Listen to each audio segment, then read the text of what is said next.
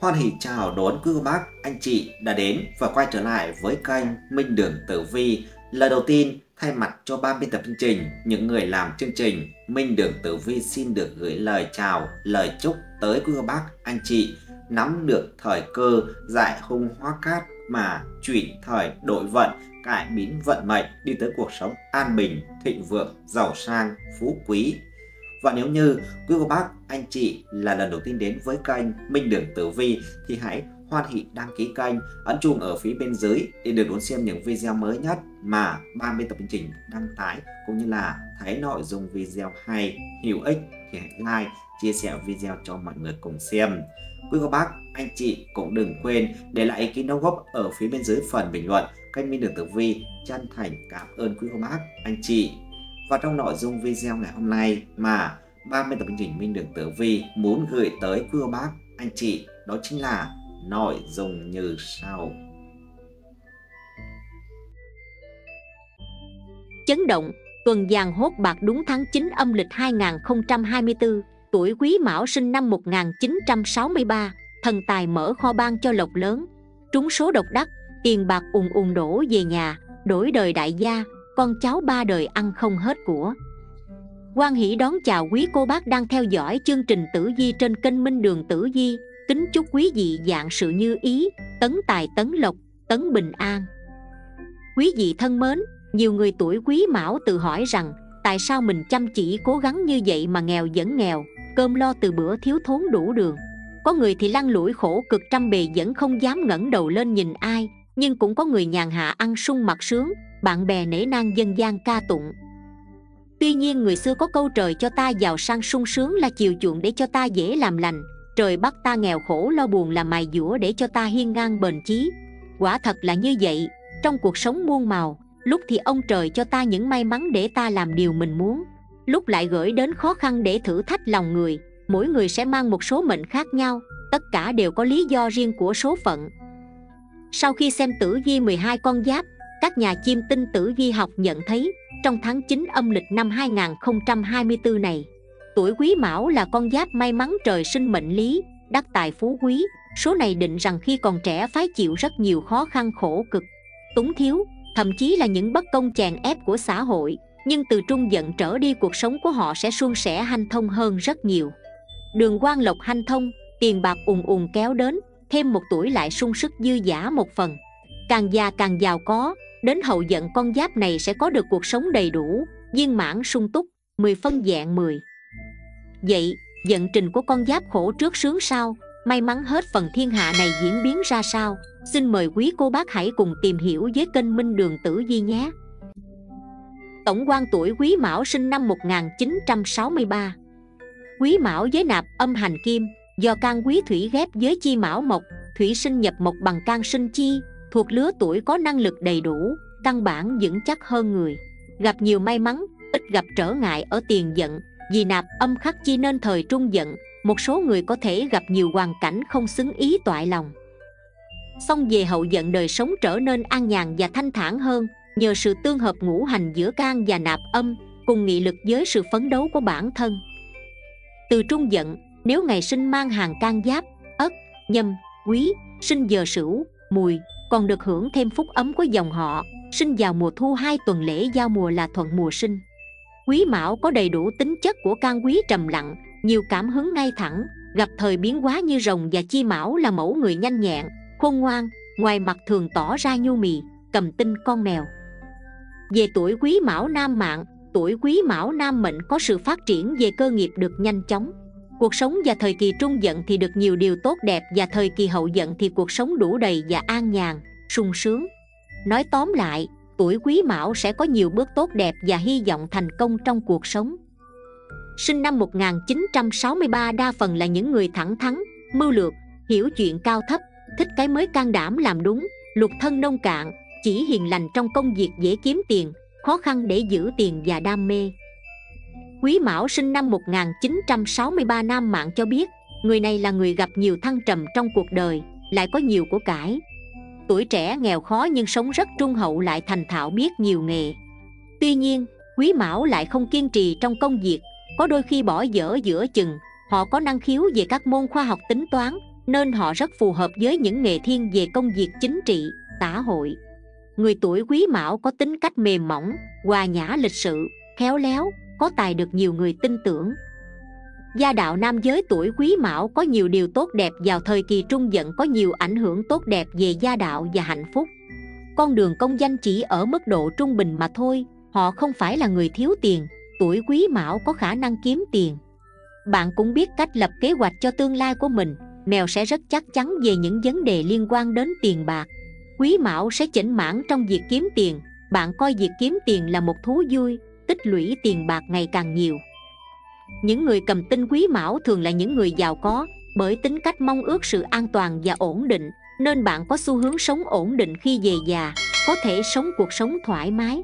Không phải lo lắng về tiền, các vấn đề về việc vay tiền nên được xử lý đúng đắn, để tránh tranh chấp sau này và mất đi những người bạn quý giá của bạn. Về quý mão nữ mạng, nữ quý mão thông minh, vợ chồng hòa thuận con cái thông minh, một cặp dễ nương tựa. Người sinh vào mùa xuân và mùa hạ được hưởng cả phúc và trường thọ. Người sinh vào mùa thu và mùa đông, không lo cơm ăn áo mặc. Người sinh vào ban ngày sẽ được ngai lưng xe cộ, người sinh vào ban đêm không phải lo lắng. Người tuổi quý mão rất biết hưởng thụ, thích hưởng thụ những cái đẹp và yêu thích sự giàu sang họ dốc sức để đẩy mạnh hòa bình cho nhân loại và giữ hòa khí cho mọi người. Tránh để xảy ra mâu thuẫn và những điều không hay kính đáo, dễ chịu và là người bạn tốt. Mặt khác, họ khá hợm hĩnh hay ngồi lê đôi mắt và khó có thể tự giật dậy mình khi gặp phải hoàn cảnh éo le bất trắc. Dù cởi mở, dễ gần, nhưng họ thích cuộc sống yên tĩnh và tương đối bảo thủ. Sự quan tâm an ủi rất cần thiết với họ, và họ thường hay than giảng mỗi khi gặp phiền toái. Đôi lúc người tuổi quý mão trở thành kẻ nhu nhược và cơ hội, vì họ là người an phận trong cuộc sống, họ không có lý tưởng cao đẹp cho lắm chỉ cần lúc nào mình cũng an toàn là được. Tuổi quý mão 1963 cũng không thích người khác nói năng nói nhẹ mình hay bình phẩm về bản thân mình, mà giả sử như có điều này xảy ra, thì họ cũng chẳng hề quan tâm. Đây chỉ là sự thể hiện bên ngoài cho con người khác, không thấy được tính cách xấu của mình. Nhưng nội tâm bên trong thì hoàn toàn trái ngược, có thể khiến cho bản thân họ bị xuống tinh thần và thất bại ngay sau đó một ai đó thể hiện sự chăm sóc và để ý tới người tuổi quý mão, thì họ sẽ dễ tin và yêu thương hết mực. Đây là một điểm yếu đặc trưng cần phải sửa đổi, vì đôi khi người ta tốt là có mục đích. Ngược lại, ai không thích họ, tuổi quý mão sẽ không ưa ngay ra mặt. Và sau đây là tổng quan vận trình tháng 9 âm lịch của tuổi Quý Mão sinh năm 1963. Tháng mới là lúc để con giáp tuổi Quý Mão thể hiện sự uy tín của mình trong công việc, nhờ đó mà bạn được tin tưởng hơn bao giờ hết. Nhiều người còn được giao cho nhiệm vụ quan trọng, đó là lúc bạn được phát huy tối đa năng lực của bản thân. Vì thế, hãy cố gắng tập trung, đừng vì bất cứ lý do gì mà sao nhãn. Đế dượng là sao tốt, mang tới nguồn năng lượng dồi dào, để những con giáp tuổi quý mão có thể cho thấy sức ảnh hưởng và tài lãnh đạo của mình tháng này nhiều người may mắn được tăng lương thăng chức nhờ công sức của bạn được lãnh đạo ghi nhận, cuộc sống của bạn lúc này cũng rất năng động, vui vẻ. Công việc của bạn cũng nhận được nhiều sự chú ý từ những người xung quanh, do đó, đây cũng là thời điểm thích hợp để bạn thuyết phục đối tác hoặc cấp trên về những ý tưởng của mình. Kiếp tài xuất hiện, dễ có họa thị phi từ những kẻ ghen ăn tức ở giới hạnh phúc và thành công của bạn. Do đó, tháng này bản mệnh nên giữ mồm giữ miệng, đừng khoe quá nhiều về cuộc sống của mình nhất định phải giữ kính thu nhập mà bạn có nữa nhé. Ngũ hành tương sinh hỗ trợ cho vận trình tình cảm của bản mệnh, hanh thông tốt lành, để mọi sự thuận lợi. Bạn cần buông bỏ bớt sự kiểm soát với đối phương và để mối quan hệ được tiến triển một cách tự nhiên. Bên cạnh đó, có tương phá xuất hiện, tức là có điểm phá tài, khuyên bản mệnh không nên chủ quan từ các giao dịch liên quan tới tiền nông nhất định phải quản lý tiền bạc chặt chẽ, không nên xem thường những khoản chi nhỏ dựa trên mối tương quan giữa đơn số và lưu niên tháng, đồng thời xét tác động mạnh yếu của hệ thống sao chiếu mệnh, mà đoán định hung cát về tuổi quý mão, thông qua bốn phương diện chính là sự nghiệp, tài vận, tình duyên và sức khỏe, cụ thể như sau.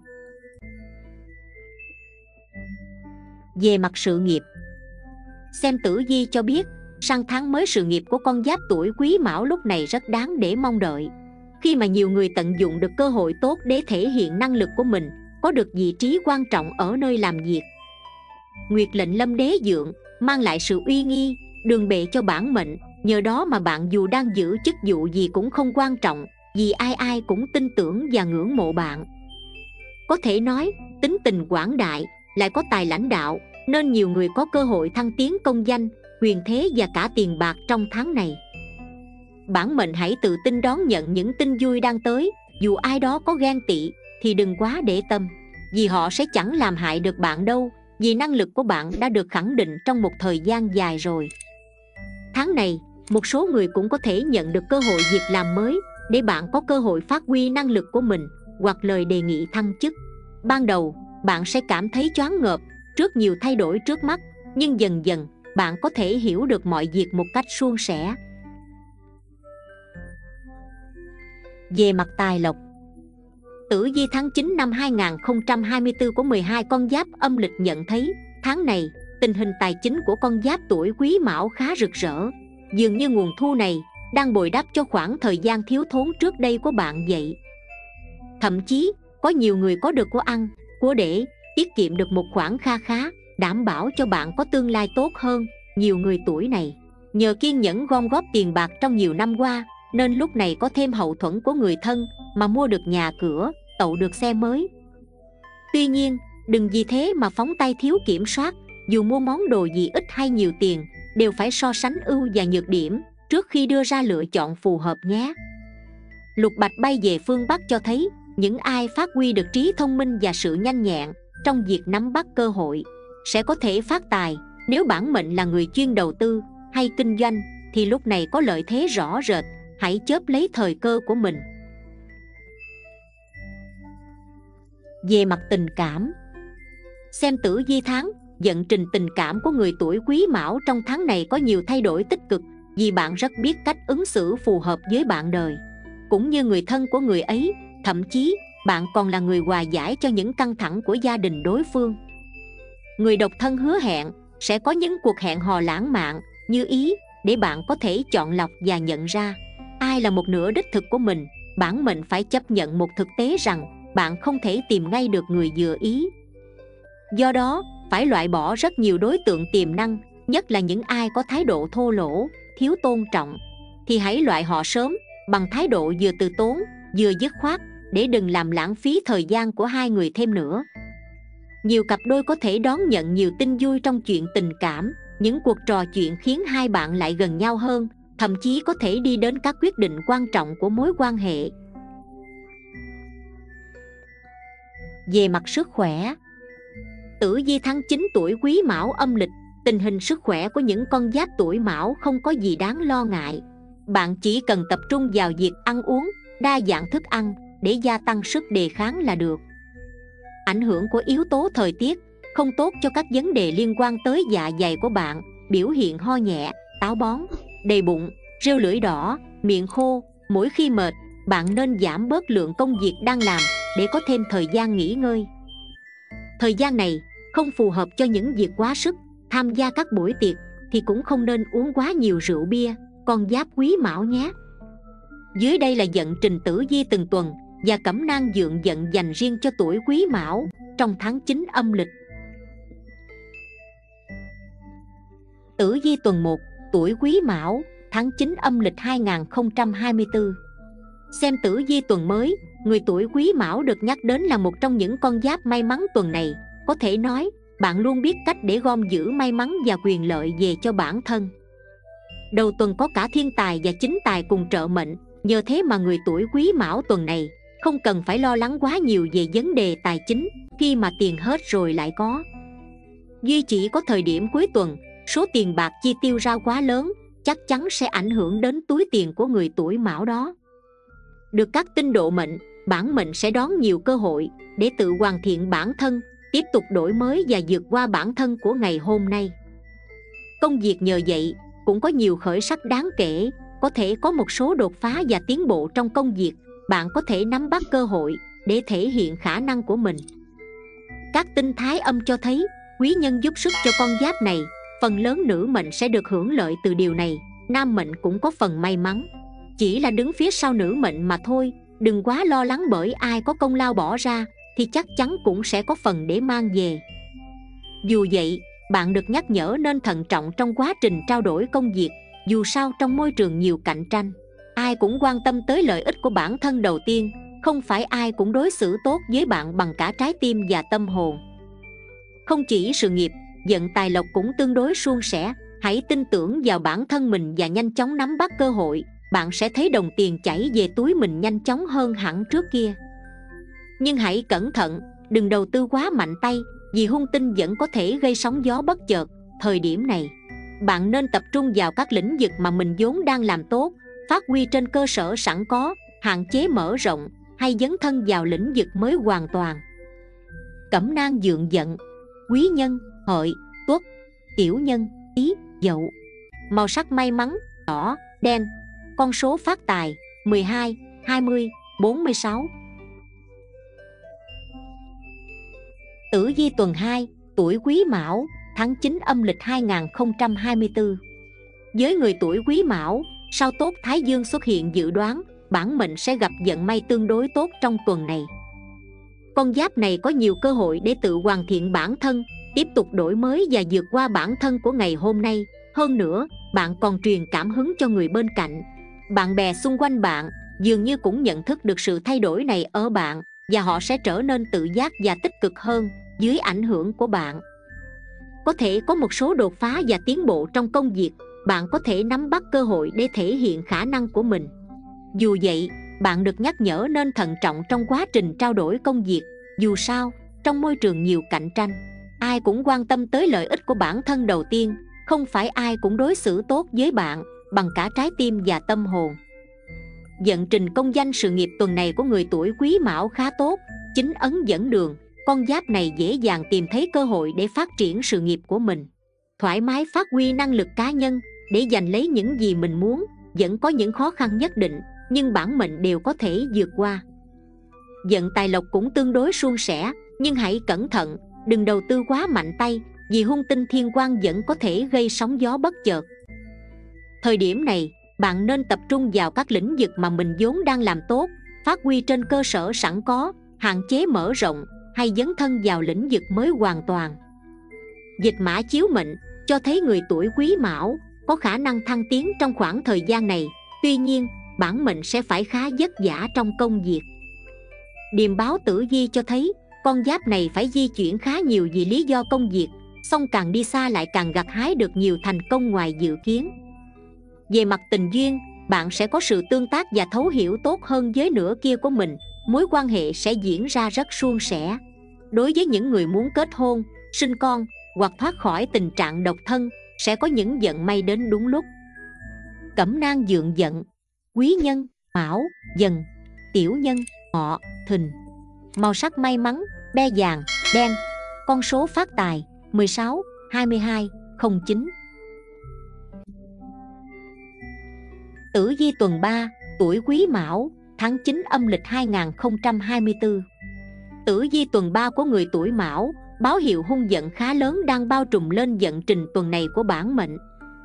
Đầu tuần, công việc phát triển khá tốt, có chính quan nhập cục, lại thêm Thái Dương các tinh che chở.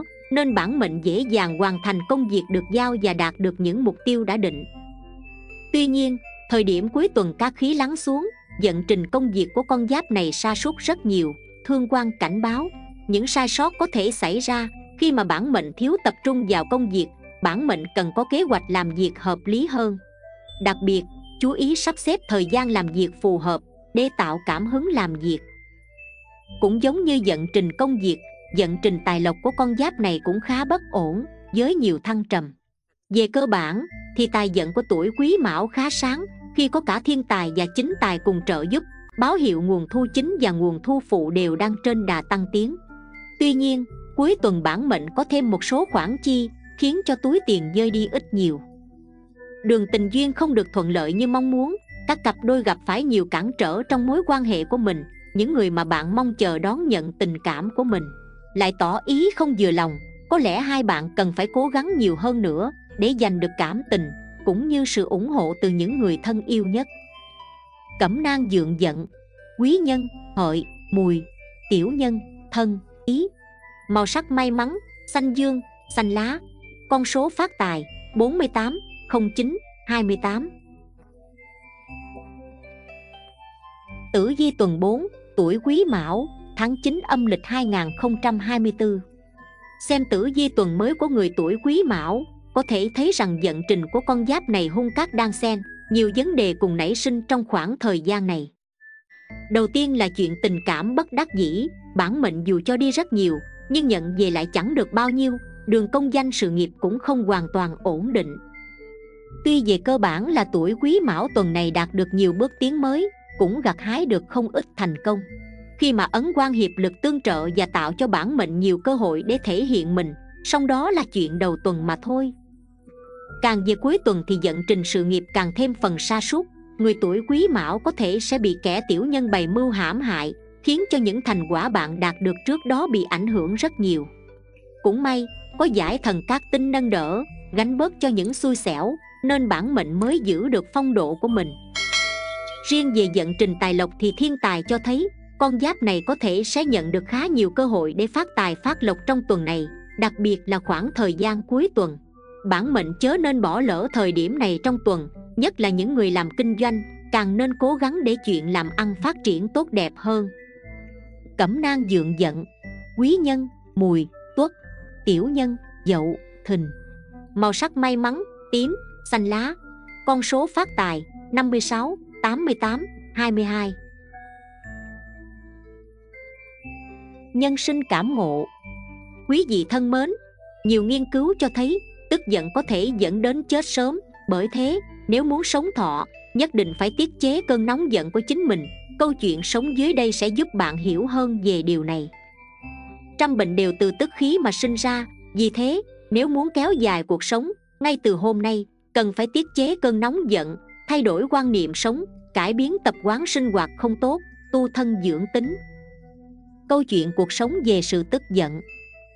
Có một vị phu nhân, thường vì những chuyện giặt giảnh mà sinh nóng giận, có một ngày bà đi tìm một vị cao tăng thỉnh giáo. Cao tăng nghe xong, liền dẫn bà đến một gian thiền phòng, khóa cửa lại rồi rời đi.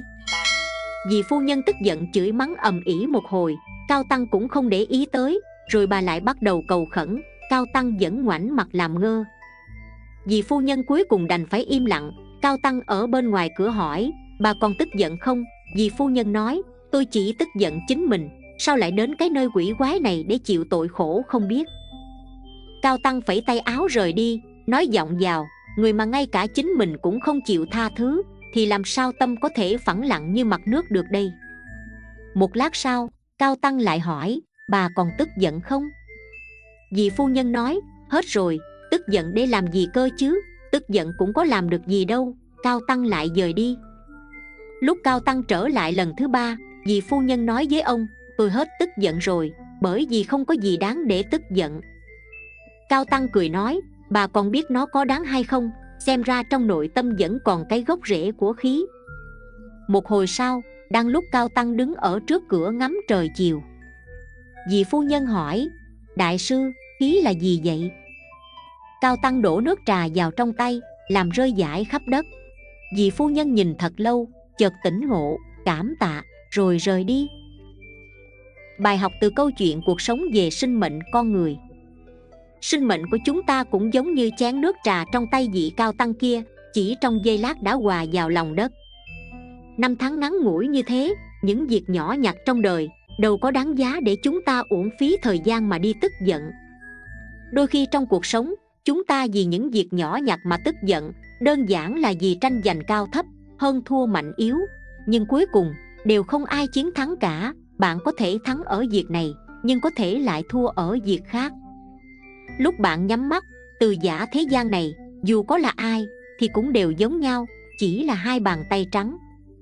Đời người quan trọng nhất là làm được một chút việc gì đó mà bản thân cảm thấy có ý nghĩa. Không nên tốn thời gian đi tranh đoạt danh lợi, không nên cứ lợi hơn thua vì một câu nói mãi thế.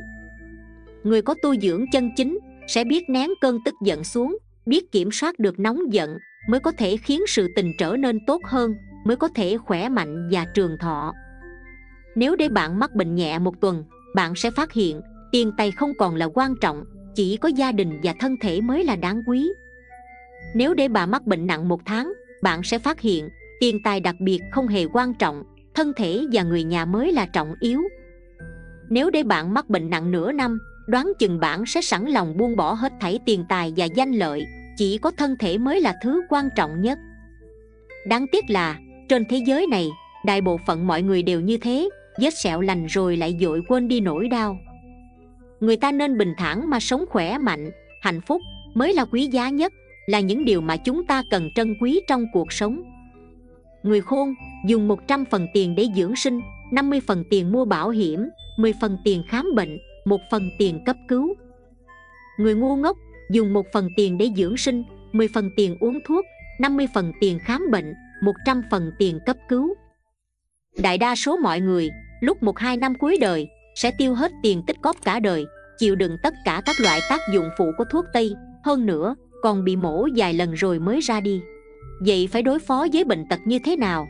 Đáp ảnh chính là ở chỗ phòng bị, mà phòng thế nào mới hiệu quả?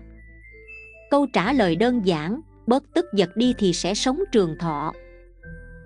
Bài học cuộc sống về tức giận và tuổi thọ.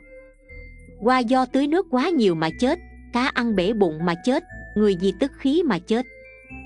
Bạn kiểm soát được cơn nóng giận bao nhiêu thì sẽ có thể sống thọ được tới đó. Thường xuyên tự mình tìm người gây hấn, lòng dạ hẹp hòi, thông thường sống được 20 đến 50 tuổi.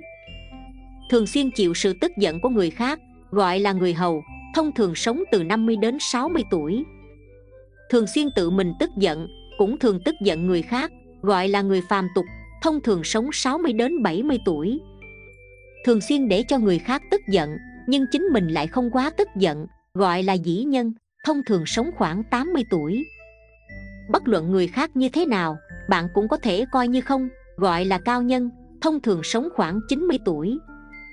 Vừa không tức giận người khác mà chính mình cũng không tức giận gọi là chân nhân thông thường có thể sống trăm tuổi hoặc hơn dân quý vị thân mến trên đây là những chia sẻ rất tâm huyết đến từ ban biên tập chương trình về tử vi tháng 9 âm lịch năm Giáp Thìn 2024 của tuổi Quý Mão sinh năm 1963. Minh Đường Tử Di rất mong rằng quý vị sẽ có một tháng nhiều may mắn, gặt hái nhiều thành công và làm giàu cho bản thân mình, cho xã hội. Minh Đường Tử Di vô cùng cảm ơn quý vị đã quan tâm và theo dõi chi tiết hết video. Mọi ý kiến đóng góp và thông tin cần được tư vấn hỗ trợ, vui lòng comment ở bên dưới và bình luận. Ban biên tập chương trình sẽ tư vấn và giải đáp miễn phí trong thời gian sớm nhất. Mến chúc quý vị luôn mạnh khỏe, hạnh phúc, giàu có và thành công hơn nữa trong cuộc sống của mình. Chương trình đến đây là hết. Xin chào và hẹn gặp lại trong những chương trình lần sau.